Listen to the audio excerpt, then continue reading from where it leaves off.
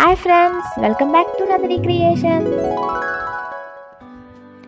ఈరోజైతే చికెన్ పకోడా చేయాలనుకుంటున్నానండి. దీనికి కావలసిన పదార్థాలు చికెన్ అలాగే చిక్ చికెన్ కబాబ్ పౌడర్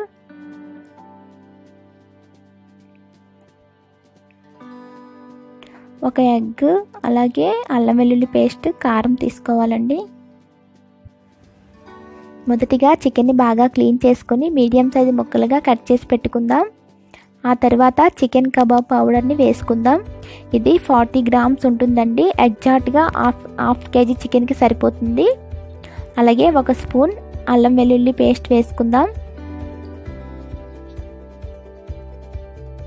అలాగే ఒక స్పూన్ కారం మీరు స్పైసీగా కావాలనుకుంటేనే వేసుకోండి. లేదంటే చికెన్ కబాబ్ పౌడర్లో సాల్ట్ కారం కూడా సరిపడేంత ఉంటుందండి హాఫ్ కేజీకి.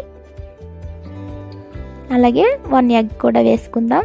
పెద్దదైతే ఒకటి సరిపోతుంది చిన్న ఎగ్స్ అయితే టూ వేసుకోండి. ఇలా వేసుకున్న తర్వాత అంతా కలిసేటట్లుగా బాగా కలుపుకోవాలి.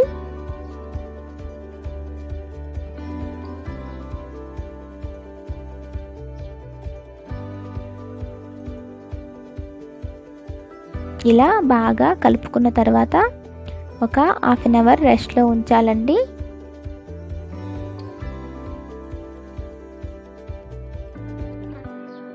ఇది ఫ్రై చేసిన తర్వాత కేఎఫ్సి ఒక పాప్కార్న్ చికెన్లా ఉంటుందండి. చాలా టేస్టీగా ఉంటుంది.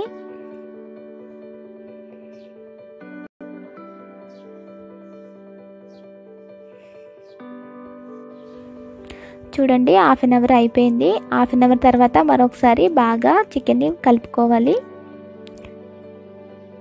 ఇలా కలుపుకున్న తర్వాత ఫ్రై చేసేసుకోవడమే.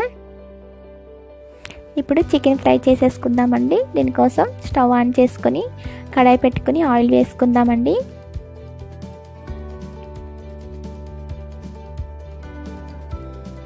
ఆయిల్ బాగా వేడయింది.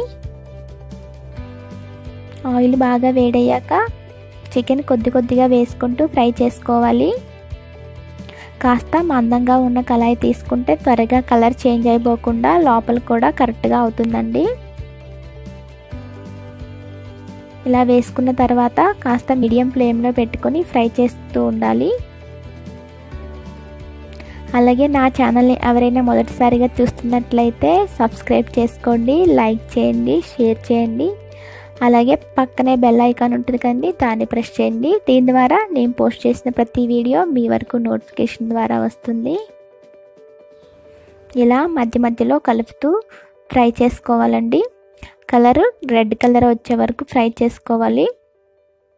మనం చికెన్ కబాబ్ పౌడర్ వేసాం కదండి దానివల్ల మంచి కలర్ వస్తుంది చికెన్కి చూడండి చికెన్ ఆల్మోస్ట్ ఫ్రై అయిపోయింది. ఇంకా దీన్ని మనం తీసేసుకోవడమే. చూడండి ఎంత మంచి కలర్ వచ్చిందో. చూస్తుంటేనే నోరు ఊరిపోతుంది. చాలా బాగుంటుంది. మీరు ట్రై చేయండి. మీరు ట్రై చేస్తే మీకు ఎలా వచ్చిందో తప్పకుండా కామెంట్ సెక్షన్లో తెలియచేయండి. చూడండి వేడి వేడి tasty tasty chicken pakoda ready అయిపోయింది. చూడండి విరుస్తుంటే పైన క్రిస్పీగా లోపల స్మూత్గా అచ్చు కేఎఫ్సి పాప్కార్న్ చికెన్ లాగే ఉంటుందండి. చాలా టేస్టీగా ఉంటుంది. ఇప్పుడు దీంట్లో కాస్త చాట్ మసాలా చల్లుకొని తింటే ఇంకా బాగుంటుంది. సూపర్గా ఉంటుందండి. Thanks for watching my videos bye bye next వీడియోలో మళ్ళీ కలుద్దాం.